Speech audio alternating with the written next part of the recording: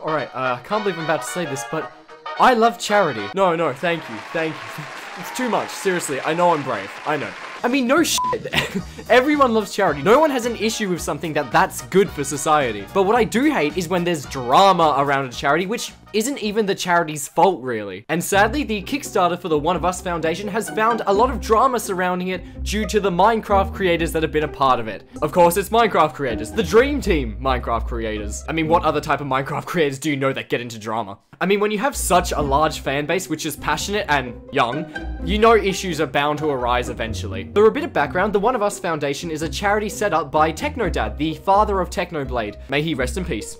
But might I say, I'm so glad that his platform is still being used by his father to create good social change. That's beautiful to me. Anyways, the charity aims at supporting young people to help give them a voice and raise them up to basically achieve their dreams. And to help promote the charity, Technodad held an event two days ago where he invited a bunch of Minecraft content creators that were friends with Technoblade to come and participate in some fun games. And of course, when you get such a big group of Minecraft influencers together, you know shit's about to go down. And my god, there was a lot. People were getting annoyed at Dream for promoting his new song that was about Technoblade. Children with zero qualifications whatsoever were trying to psychoanalyze Slimecicle to figure out who he hated. And probably the biggest issue of the event came from George Not Found, who people were saying was being disrespectful not just to the charity, but to Techno Dad himself. Oh, and was disrespectful to people with cancer. Did I mention that? Because that's pretty bad. And the main evidence for this was clips from George's stream where he was shown to be disrespecting Techno Dad and the charity. George, don't do that. It's annoying. Where he was basically admitting to not wanting or donating to the charity. George, so how much have you donated? Given you're like a, you know, multi-billionaire. Um, Not a lot of sounds now, George. And just all in all making jokes around a very sensitive topic. Now this all looks bad, but I was convinced when I saw it on Twitter that this wasn't the full story. Don't get me wrong, I still think he deserves some criticism, but I feel like when we put these in context, this takes it from him basically being the spawn of Satan. to a bit more of a why the f did you do that, man? You know, there's a very big difference on that scale, I feel like. And given the fact that there's still a lot of, in my opinion, fake news going around about it, I want to use this video as a chance to put everything in context so that you can make your own decision to say that if you still think he deserves a lot of the criticism, or if you think that a lot of it was taken out of context and it may not be as severe as making fun of kids with cancer. Now starting off with probably the worst allegation, if it is true, and that is George playing the soundboard during Techno Dad's speech. Uh, King. yes. Now this is the first clip I did see from Twitter, and I gotta say, it's rough. Like, Jesus Christ, there is no redeeming someone for doing that. It's just insensitive. It's not even a funny joke. It doesn't appeal to the golden rule of offensive humor. If you're gonna do it, make it funny. Anyways, to get more context for this, I went and found this on Tommy Innit's perspective from his stream. And I gotta say, everyone saying that he was doing it during the speech is being misleading at best and at worst, straight up lying. Now, George was the one playing the soundboard. Whether he was playing every single one of the sounds is up for debate. But this was before the official speech actually took place and not during the speech itself. Also, a lot of people were saying that creators were disappointed in George and giving him a stern talking saying how he was being annoying. And even people point out to the clip of Tommy Innit saying that they should go cancel George for what they were doing. George, don't do that. It's annoying. Mm, Dream uh-huh. Team roll up in here, ruin charity. Jesus Christ. They have no respect. If you could all just go and cancel him for me. Now, this might just be me. I don't think he was being serious. Like, maybe he did find it actually annoying and was unsure if this was an appropriate thing to do at the time, but I don't think that he was, oh, George, I can't believe you've done this! You know, like everyone was saying he was. Especially the cancel comment. I, I think that's quite clearly a joke, right? So yes, while I still think that you can give George criticism for playing the soundboard, honestly, it does come off a little bit tone deaf given the situation and what the event's for. To say he was doing it during the speech, though, is honestly just not correct and is definitely painting it out to be way worse than what it is. Now, moving on to the next point is all about donations and apparently George saying how he has donated nothing, which is coming from this clip here. George, so how much have you donated?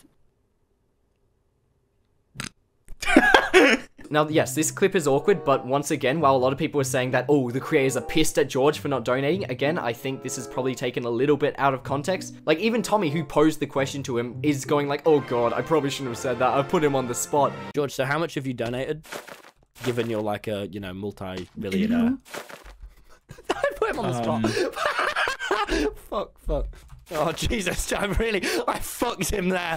Oh, I actually feel kind of bad. Like, it is undeniably awkward. I think we can all agree on that. But I think the weight of what people were saying here is not as serious as what everyone's making it out to be. Also, on the donation side, I do want to bring up that George technically has done a bit to donate to the charity. Not only was he promoting people to go donate to the charity instead of him, but he's also claimed that 100% of the proceeds of that stream have gone straight to the foundation. Okay, thank you for gifting five subs, but, but, you should give it to the, instead of giving me the subs, you should donate to the charity stream. But I will also be taking the money from this stream and giving it to the, the charity. Now, we could sit here and debate the ethics of if he should be donating more because, again, he is a multi-millionaire.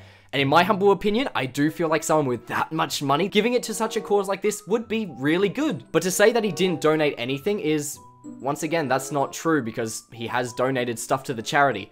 Apparently, I'm gonna take his word for it. Last but not least is probably the hardest thing to give context to, and that is the fact that when he saw the money going to charity, he was like, oh, imagine if all this money went to me instead. Look at all this money. Imagine all this money went to me instead. Now, there's a lot less context we can give to this, but I feel like by understanding the type of creator George is, we can kind of make sure that this is definitely a joke. Now, George is a Minecraft's kids entertainer. His whole thing about comedy is loud equals funny, as shown by this clip here. Yep, loud equals funny. Gotta love modern comedy. It's not smart, it's not witty, it's more like, ooh, I wonder what will happen if I do this. Ooh, ah! You know, all, just that stuff. That's, that's his style. So when I see him saying this, I feel like most people can see this and realize, like, he is joking. $13,000. And it's all going straight to me. Okay, I'm actually, I'm gonna say it. That was definitely a joke because I don't want people to think that and donate less. That was a joke.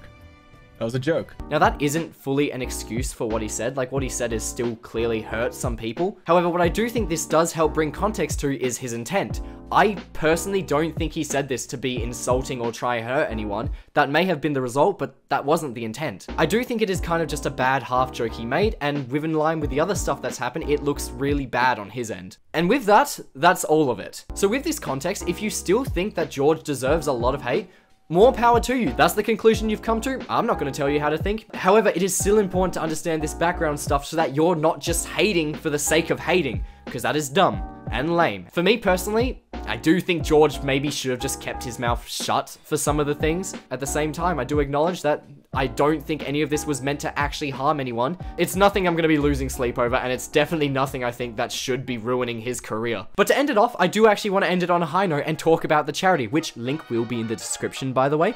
And guess what? In two days, they smashed their goal. The charity was asking for $50,000 to basically help for a Kickstarter. They ended up getting about 74,000 at the moment, which is really good. Uh, don't mind the bar. Uh, Technodad added one too many zeros. Hey, he's a good guy. Doesn't mean he's good at math. So, if you do want to donate to the charity, again, link is in the description. You're not obliged to, but if you do feel like you want to, be my guest. Also, while you're down there, if you want to do another bit of charity, please hit the subscribe button, please. I would